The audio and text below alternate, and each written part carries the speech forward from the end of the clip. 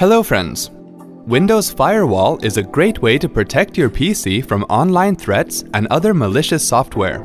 If you want to make some changes to the firewall settings on your Windows Vista-based PC, here's how you can do it.